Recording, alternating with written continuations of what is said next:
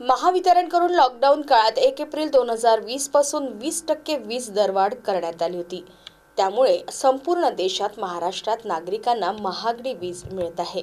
आधीच वाढीव वीज दरवाढीचा भुर्दंड सहन करीत असलेल्या राज्यातील ग्राहकांवर नवी दरवाढ लादण्यासाठी वीज कंपन्यांकडून वीज दरवाढीचा प्रस्ताव ठेवण्यात आला. त्यामुळे या वीज दरवाढीविरोधात आपतर्फे सोमवारी चंद्रपुरात निदर्शने करण्यात आली. आपलं चंद्रपूर शहर हे आपलं इलेक्ट्रिसिटी जनरे जनरेट करतं. कितीतरी इलेक्ट्रिसिटी जनरेट करतं. तरी आपल्याकडे वीज दर वाढ खूप जास्त आहे.